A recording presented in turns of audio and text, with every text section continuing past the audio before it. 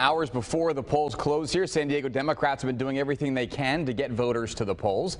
Fox 5's Kelsey Christensen has more on that. She also just spoke with Gray Davis, the former governor of California, the only one who has been recalled. That happened back in 2003. She joins us live in Serra Mesa. Kelsey.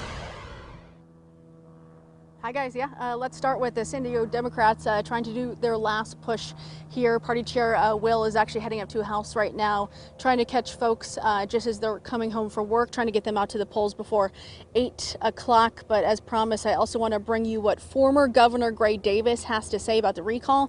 I just spoke to him. Uh, of course, he is the only governor in the state's history to be recalled back in 2003. He believes Governor Newsom will win this election.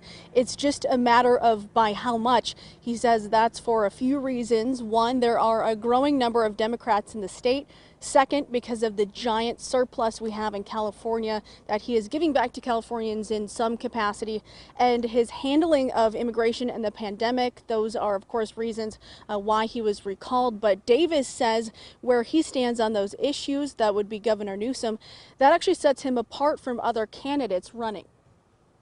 I'm a big proponent of grace and humility, and I think you just, okay, great. That battle is over. Now let me get back to my day job and make sure we can get all the schools open and get people back to work safely and put this pandemic behind us. And he's been making progress there, but we still need to put more shots and more arms to, to get the job done 100%.